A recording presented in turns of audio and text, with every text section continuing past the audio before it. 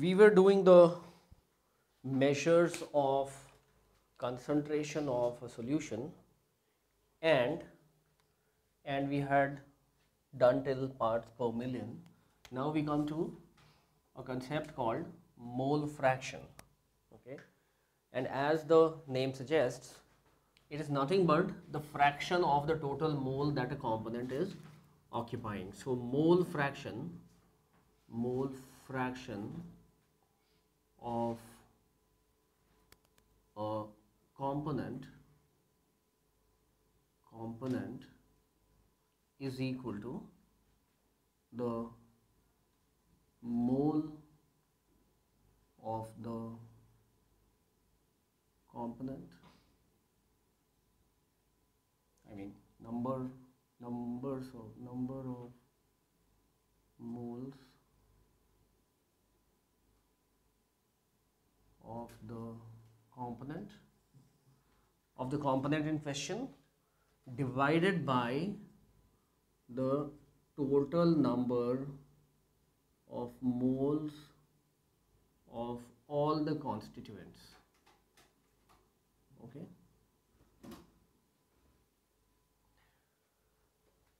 It is denoted by x and in the in the subscript you write what you write the you write the not necessarily you write that component whose mole fraction you are finding out. So suppose suppose it is maybe nitrogen then you can write that. Okay? So so this is a standard way of representation of mole. X x denotes the mole fraction. So suppose if we have if we have two components. Or, or say if we have three components components each with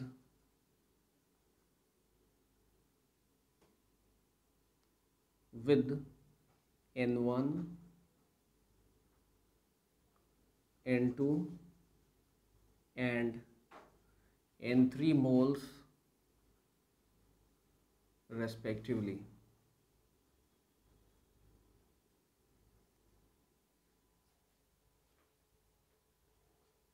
Okay.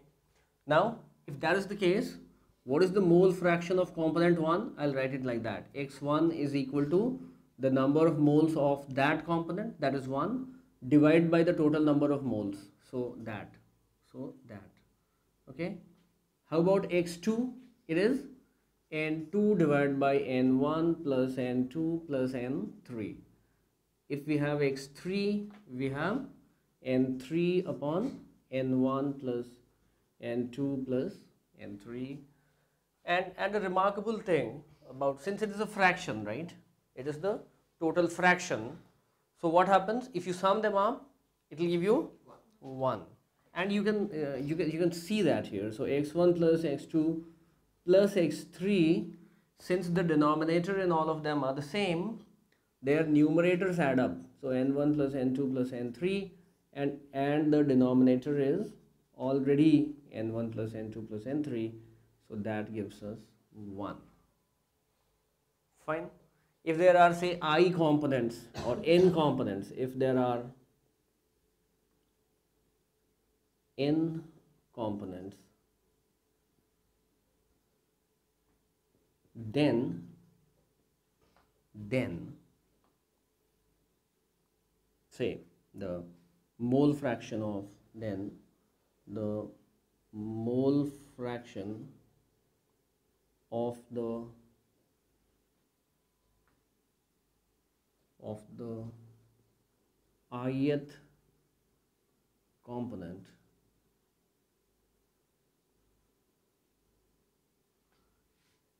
is is xi is equal to ni divided by summation or, or I'll call n1 plus summation. Normally I write we write j as the running variable whenever we are taking the sigma. Here what I do uh, I as I as the running variable. But since I is already a component so I write it J. J is equal to J is equal to 1 to N. Correct? This notation you must be familiar with right? So this is your mole fraction for the nth component uh, of the ith component. Why are we emphasizing the why are we emphasizing on the mole fraction? Because because mole fraction mole fraction concept mole fraction concept is used in is used in number 1 that we'll soon see in calculating the vapor pressure of liquids okay? Vapor pressure of solutions okay?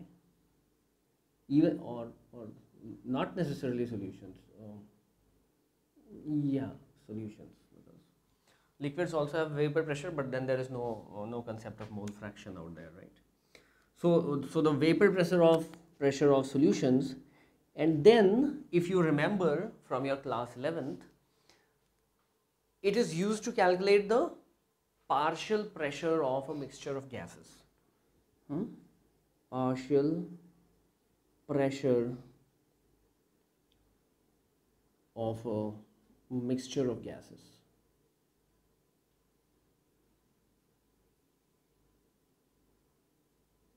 Hmm? Correct? Partial pressure of a mixture of gases. We understand what partial pressure is? Hmm?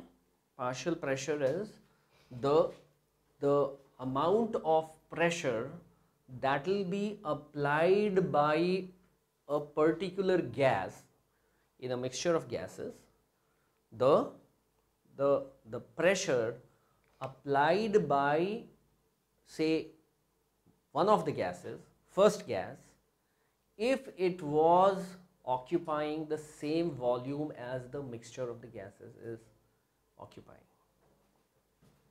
You understand the point? Okay.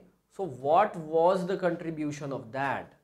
Okay, that depends actually on the mole fraction of the of the of the component and and we'll soon see why it comes. It comes from the ideal gas equation. There is nothing great about it.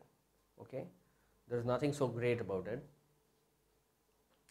Okay, and uh, in 11th, uh, um, in a chapter, in the ideal gas chapter, we'll actually be doing that mathematically and seeing why why it is. So that's why the concept of mole fraction has come into being. It's not just for nothing that that we are also saying that okay, so this is also one of the ways of expressing no okay